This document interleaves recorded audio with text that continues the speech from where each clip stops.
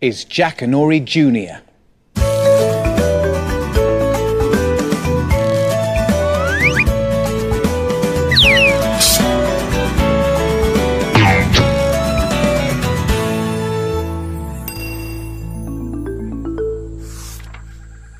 Hello, I'm Don.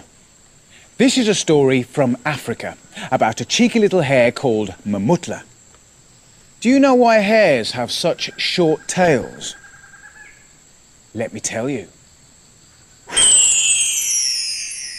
Long, long ago, Mamutla the hare lived in a cave halfway up Kololo Hill. One morning he set off, scrambling over the rocks, down into the grey-green bush and the long veldt grass. He was heading towards the waterhole and those tender green shoots that sprouted near the water. Mmm! He shivered with delight.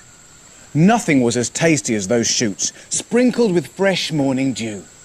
He was leaping to the bottom of Kololo Hill when creak, crack, crash! A marula tree plunged towards him. Swoosh! It almost whipped off his nose and then pinned him down. Tilau the elephant loomed over him. Tilau swirled his trunk, snapped off a branch as if it were a twig, and stuffed the sweet-smelling fruit into his mouth. Mamutla tried to look calm, although his heart was throbbing. Good morning, Tilau, he began. Tilau chewed and chomped, but said nothing. I said, Good morning, Tilau, Mamutla repeated a little louder. Tilau twitched his tail, but still said nothing. I said, Good morning, Tilau, Mamutla shouted. What do you want, Pipsqueak? No one interrupts my breakfast. No need to be rude, Tilau. Just because you're biggest, you think you're the strongest. If we had a tug of war, I could beat you any day. Well, Tilau was so surprised that with one mighty sweep, he lifted up the marula tree so that he could see Mamutla more clearly. You? You, Pipsqueak? Whoa! The elephant blew out a trunk full of air. It would have blown the little hare sky high if he hadn't jumped aside quick as a tick. Tomorrow morning, when sun peeps over the mountain, I'll come with a rope. Then you'll see, Mamutla boasted. Without waiting for an answer, he scampered away towards the waterhole. There he found Kubu the hippo with her eyes half closed, bathing in the water. Good morning, Kubu, he began. Kubu stared at Mamutla and said nothing. I said good morning, Kubu, Mamutla repeated a little louder. Kubu opened her mouth so wide that Mamutla could see past all her teeth down into the great cave of her throat. When she completed her yawn, she boomed, What do you want, Pipsqueak? No one interrupts my morning nap. No need to be rude, Kubu. Just because you're biggest, you think you're the strongest. If we had a tug of war, I could beat you any day. You? You pipsqueak? The hippo spluttered a mouthful of water. Tomorrow morning, when sun peeps over the mountain, I'll come with a rope. Then you'll see, Mamutla boasted. Without waiting for an answer, he scurried away. All that day, Mamutla worked hard at making an extra long, extra strong rope. The next morning, the little hare was leaping down Kololo Hill. The long, strong rope was hung over one shoulder. Sure enough, Tilau the elephant was there at the bottom of the hill. He pretended to take no notice of Mamutla and carried on munching. Good morning, Tilau. I brought the rope. Mmm, said Tilau. Mamutla skipped up close. He held out one end of the rope. You take this, I'll take the other end and run over there. He pointed to some very thick bushes. When I'm ready to pull, you'll hear me whistle like this. Wee! Wee! Mamutla whistled softly, then held his breath until Tilau began to wind the rope around his single tusk and his trunk. Quick as a riverbank fly, Mamutla hopped towards the thick bushes, calling back towards Tilau. You'll soon see that I'm stronger! But Mamutla did not stop at the bushes. He still had more rope as he bounded down to the waterhole. Kubu the hippo pretended to take no notice and sank beneath the water. Mamutla waited for her eyes to rise. Good morning, Kubu. I brought the rope. Kubu blew a spray of bubbles. Mamutla skipped up close. He held out the end of the rope. You take this. Do you see those bushes? I've left the other end just behind them. I'll run and get it, and when I'm ready to pull, you'll hear me whistle like this. Wee! Wee! Mamutla whistled softly, then held his breath until Kubu clutched the rope tight within her jaws. Quick as a klipspringer, Mamutla skipped to the thicket of the bushes. As soon as he'd hidden himself well, Mamutla took a deep, deep breath and whistled, this time for all he was worth. From each end, he could hear as Tilao and Kubu began to pull. They pulled and tugged and tugged and pulled. First, it was Tilao humping and thumping and Kubu shaking and quaking. Then it was Kubu humping and thumping and Tilao shaking and quaking. Great drops of sweat poured off Tilao, almost enough to make a river, while Kubu splashed so wildly she might have emptied the waterhole. Mamutla laughed so much that he was nearly sick. He didn't know who looked funnier, Tilao or Kubu. The tug of war continued from sun up until sundown.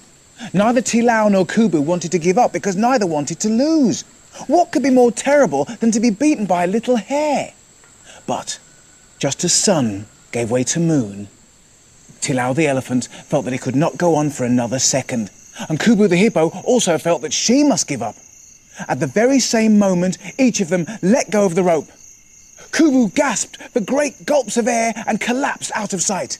Tilao panted like he had never panted before and dragged himself to the waterhole. Kubu saw Tilao, and Tilao saw Kubu. And in an instant, they knew what had happened. Were you? snorted Tilao. Were you? spluttered Kubu. Was it Mamutla's imagination that made him see steam rising from both animals? Time to go, he thought. Time to go and get some supper. Mamutla scampered away as Moon took her turn to peek over Lenong Mountain. But not before he let out one last loud wee, wee. Well, Tilao the elephant and Kubu the hippo got over their puffs and pants soon enough. But they did not get over being red in the face. How dare such a little hare trick such important big creatures as themselves? The more they talked about Mamutla, the hotter they became. They decided that the matter should be taken to King Lion, and King Lion decided that the matter should be taken to a meeting. So he called one early the very next morning.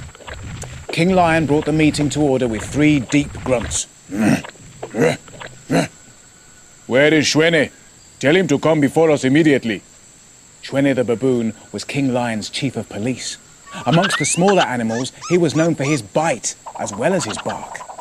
However, when he strutted into the middle of the meeting of big animals, he made sure to nod left and right before he bowed in front of the enormous rock. King Lion gave his orders. Mamutla the hare was to be captured and transported to the very top of Lenong Mountain. The big animals all nodded with approval. We command you, Chief of Police, King Lion growled, to stand on the very highest cliff and to swing that cheeky little hare around your head twelve times, once for each hour that he made a fool of Tilao and Kubu. Swing him slowly so that he can see just how far he will be going. Do it, he ordered. While all this was going on, Mamutla was sound asleep under the livelong tree outside his cave halfway up Kololo Hill. He was still dreaming about tugs of war when a sharp tug at his foot brought him to his senses. Too late. He woke to find himself hanging upside down over the shoulder of King Lion's chief of police. It was useless to plead, pointless even to ask where he was being taken. Shwene the baboon was clearly on duty. Otherwise, wouldn't he have loved to get those sharp baboon teeth stuck into him? Mamutla shivered. If he wasn't careful, the chief of police might take a bite and then tell King Lion that Mamutla had struggled to escape. But Mamutla also knew that he had very little time. Even on three legs, Shwene leapt from rock to rock as nimbly as little Kololo the Klipspringer himself. Mamutla bumped and bounced against the baboon's back.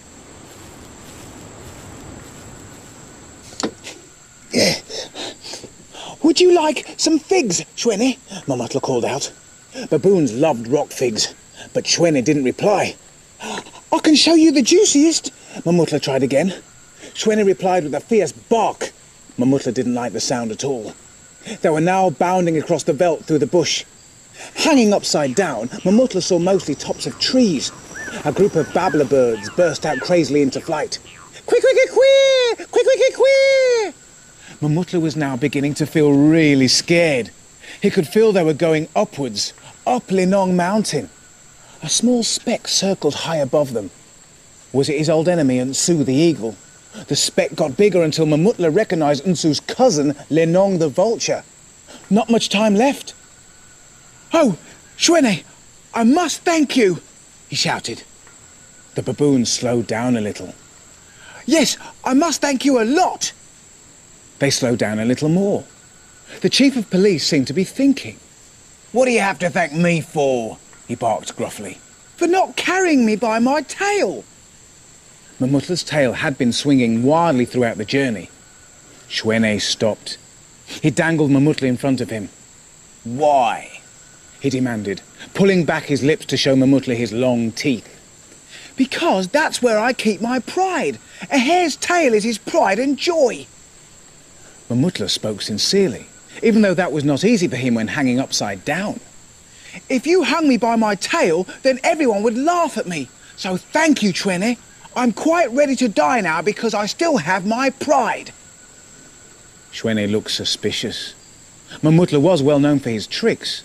But if it was true that the worst way to carry a hare was by his tail, then that was what he should do, shouldn't he? Why should he allow this hare to keep his pride? So, with his free paw, Shwenny grabbed Mamutla's tail. Oh, I should never have told you! wailed Mamutla. Higher and higher they climbed towards the topmost cliffs of Lenong Mountain. Mamutla could see the waterhole far below. Were those two dark blobs perhaps Tilao and Kubu laughing together? They were very near the top. Mamutla glimpsed the whole Lenong family lined up along a bare branch. There was hardly any time left now. Mamutla took a deep breath and counted to himself. Three, two, one.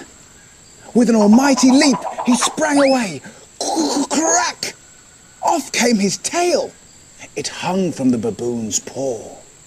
Mamutla did not even stop to enjoy the astonished look on the chief of police's face. His wounded tail and pride were both stinging far too much. Without turning back once, he hurtled down the mountain. But that wasn't the end of the story. Mamutla spent the rest of the day telling all the other hares that the big animals were going to catch any hare with a long tail and sling him or her off the highest cliff of Lenong Mountain. Be brave! Don't worry about your pride! Be like me and get rid of your tails! And would you believe it? They did! Of course, Mamutla's tail and those of the other hares never grew again, so he could no longer take pride in his long bushy tail. However, as time went by, he was proud to tell the long and hairy tale about why all hares have short tails. Bye for now.